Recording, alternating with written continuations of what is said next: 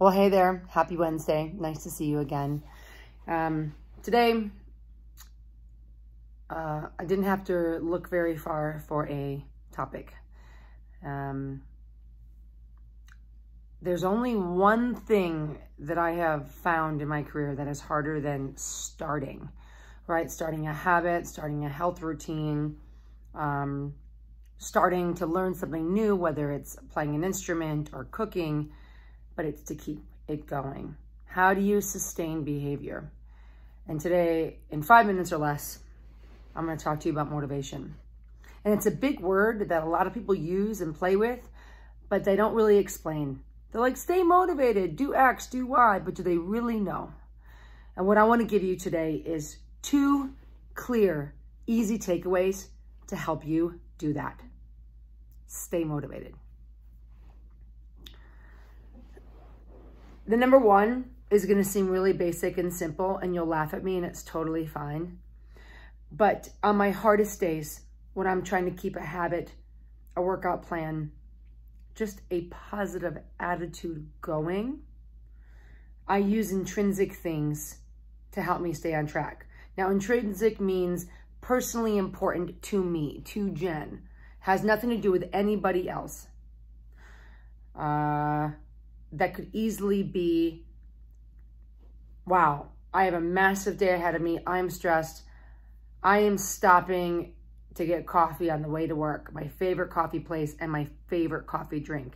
I don't care what the macros are. I don't care if you're doing my carb cycling programs, any of that. You just get the coffee you need to help you feel better for that moment, to just be on your team, to step up for you. It could be a coffee, um, I, it could literally be, I always say schedule an upgrade. So we're like, man, today's gonna be crazy. Schedule a blowout. Not that day, like it's a Tuesday, it's crazy. Friday night, you're getting a blowout. Schedule a manicure. Schedule um, at the grocery store. You're like, I am grocery shopping tonight and I'm gonna buy nicer beer for my weekend right now, right? It doesn't have to be in the moment changes. I think it's a matter of you recognizing today is tough. I don't even want to think about like tomorrow. So you stay in today and you do something in that day to help you look forward to not just like the thing, not just the blowout or the better beer, but to the life that you're building. And what nobody tells you and nobody's going to want to tell you is that life the life that you really want to live does take some work. And by the way, it feels good to work hard for yourself. So don't overlook that. Don't think it's like, oh my God, work is bad. No, work is good. Work is proof of what you're made of. Work is uh, literally the tires on the track proving to you that you don't you don't only belong here, uh, but your presence changes the world for other other for all kinds of other people whether you have kids or not siblings or not you uh, in groups or not you being here matters but that only matters if you think you matter so taking that time for yourself to plan those things is critical one of my favorite things and i'll tell you i have a favorite pair of underwear the hardest days of my life i wear it it's bright bright highlighter yellow whenever i have to go live tv I literally wear that underwear. I'm like, I got to put the power on. I need it today. I don't know how I'm going to do it. I don't know how I'm going to get through. I don't know if I'm going to mess up. That one pair of underwear has seen more live television than most actors. so whatever it takes, find something intrinsically important to you and do it. I've got one minute left. Number two, be curious.